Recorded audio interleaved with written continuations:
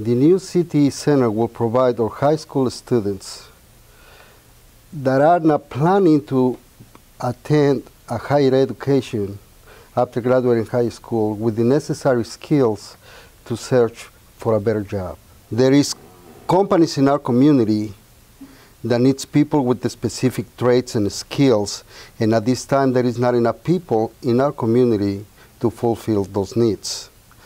This is one of the reasons some companies have to look for qualified people outside our community. If we vote yes on the CTE bond, we will be, we will be taking the necessary steps to keep these jobs in our community. And we will be providing our new generations with the necessary skills to do better in the future.